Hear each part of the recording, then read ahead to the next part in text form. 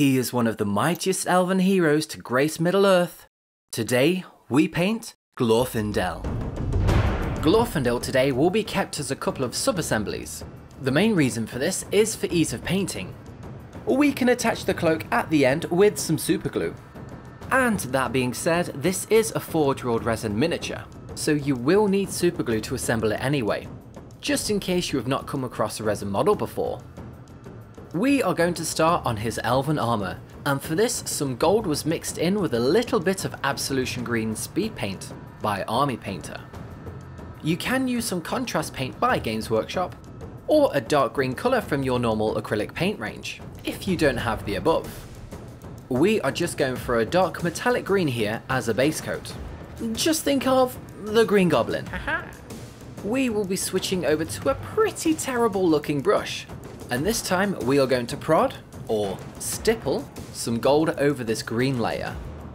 Firstly, we used some greedy gold paint and then this was followed up with some bright gold. The stippling motion onto the armour gives an old burnished appearance, which can mimic a texture on a flat surface such as this armour. To give this gold armour a bit more bling, now that we have our initial colours on, the bright gold was used to highlight the edges of the armour and the filigree of the helmet.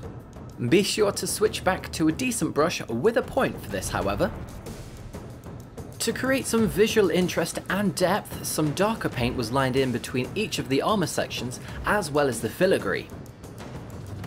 For this, rough iron was heavily diluted with some water to create a metallic wash. And as this paint is applied, we can see the armour plates start to take shape.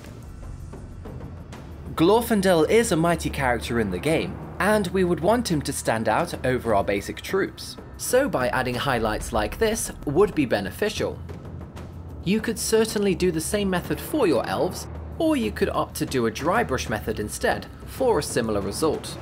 That's one of the great things about miniature painting, is that there are many paints and methods to use. It's just a balance of finding what you are happy doing and with what time you have available. Whilst we are working on the metallic stage, the chainmail and sword were up next, and these were both base coated with some gunmetal. And this was followed up with some good old dark tone, just because shade paints are awesome. They allow us to do some quick shading on a miniature with little effort involved. Once completely dry, some shining silver was used to go over the chainmail by implementing downward brushstrokes, this movement will allow the bristles to hit the upper parts of the sculpt and bring out those details. The same paint was used to carefully highlight the sword blade also. Painting the skin on can be slightly tricky on this model due to the helmet. It is very easy to get some paint onto the metal here, and if you do, just come back to it afterwards for a final tidy. Using a flesh wash next does a lot of the work for you, it will separate the face and the helmet with that darker tone. Afterwards, using a brighter skin colour for your highlight will work wonders here for you, once you have picked out those pronounced areas of the nose, cheek and chin. You can further enhance the face by separating it from the helmet even more. To do so, you can add a dark brown, as this would work well, but I opted for a darker red instead, as this is my go-to style for painting skin tones. Speaking of which, if you would like me to do a video on how to paint different types of skin tones, then let me know, as one of my recent purchases was an Army Painter skin tone set. And this was due to the fantastic support of those that have helped the channel through the Buy Me a Coffee page. So thank you so much for being so generous. A final highlight of Corpse Pale was used just on the prominent areas once more to enhance the details of the face. The eye sockets were picked out with some mocha skin, and mummy robes were used for the whites of the eyes. We start now with the elven clothing, and the boots and the gloves were first. They were given a base coat of werewolf fur, followed by some strong tone afterwards once dry. We want this paint to sink into the recesses, especially between the fingers of the gloves.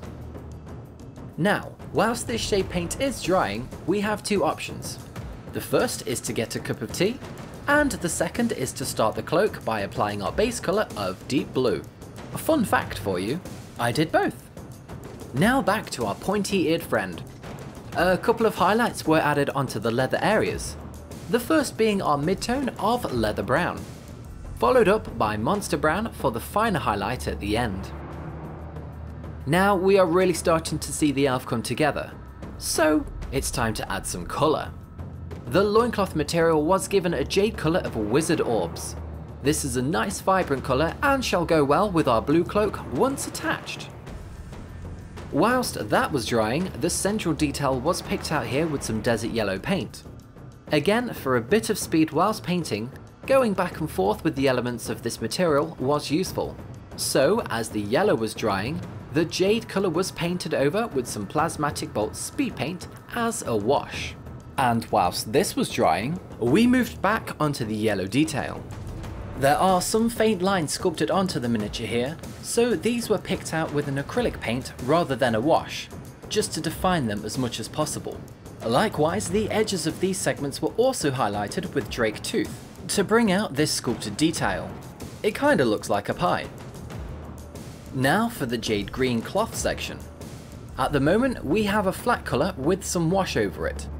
And being an important elf, we are going to create a simple, easy texture for our material. And that was to prod some toxic mist in between the protruding pattern. And speaking of which, let's paint that now. We start with rough iron and slowly pick out the details with a fine tip brush. Using this dark colour first will not only be a base colour for our gold, but to also act as a shadow line between our jade and the filigree highlighting with the same gold colours as we used for the armour, we should get something that looks like this. The last bit of cloth before we move on to our blue cloak was the undergarment that Glorfindel is wearing.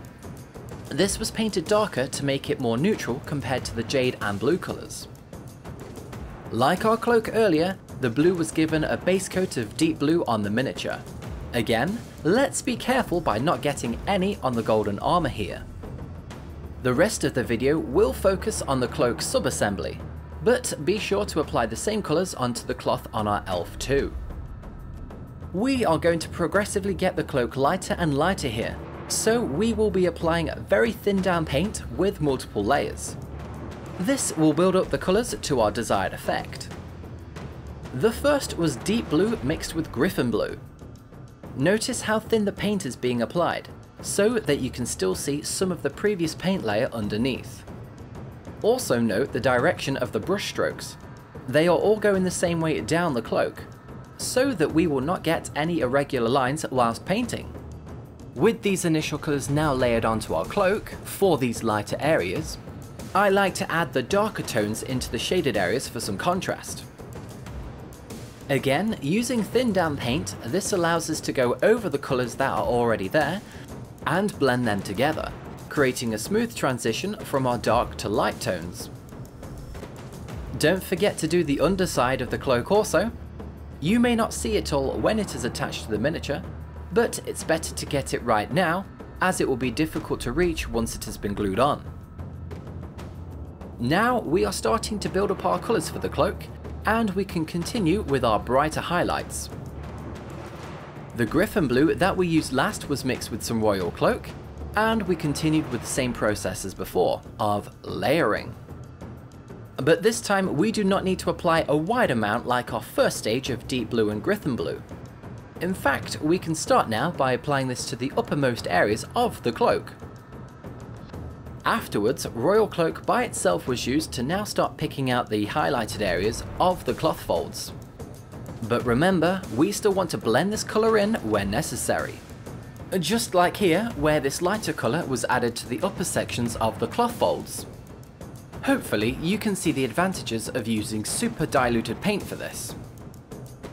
And the main highlights for our blue cloak was a mixture of royal cloak and gorgon hide.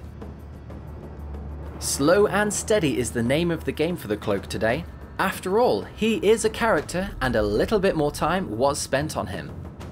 However, if you would just like to get him game ready for the battlefield and save time, you could use the colours here today and check out the Paint Cloaks Easily video, which will cover a variety of different methods to get your miniatures completed. The cloak filigree afterwards was painted in the exact same manner as we did for our jade tabard. And now for his beautiful elven hair. We are going to go for a nice blonde look today, so desert yellow was the colour of choice for our base coat. And once dry, some watered down dirt spatter was used as a wash. We will layer up the colours here and make them brighter as we go, similarly to the method that we did with the cloak. Desert yellow was mixed with some troll claws first, and we went lighter from there. We don't need to hit every strand of hair, just a select few that would be facing the sunlight on the outermost parts of the sculpt, leaving the darker brown areas in the shade. If necessary, you could always go in with a bit of oak brown at the end, and line in some darker shaded areas, just to make it a bit more refined. Before the cloak was attached to the main miniature, the sword scabbard was painted. The whole thing was painted red and then washed over with some mid-brown, just to give it that reddish leather look. The same colour was also used for the sword handle. There was a small amount of detail sculpted on here, and this was just picked out with some matte black. And then a couple highlights were used for the edges of our red strapping, to finish off this part of the miniature. As you can see, this reddish colour contrasts nicely with the blue cloth, and goes nicely with our gold that we have painted. For the horse details, such as the saddle and the barding, the jade green and blue were used to tie in with the colours of our glorious Elven Lord. And if you want to find out how to paint white horses in a variety of ways, then check out this video right here. Thanks for watching, and until next time, keep on hobbying.